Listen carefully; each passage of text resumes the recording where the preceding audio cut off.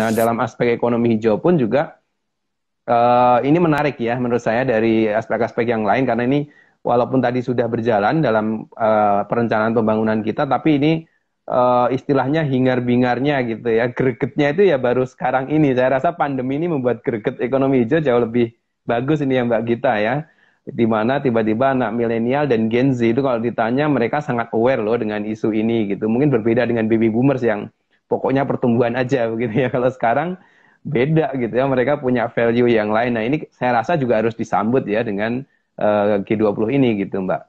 Medcom.id, a part of Media Group Network.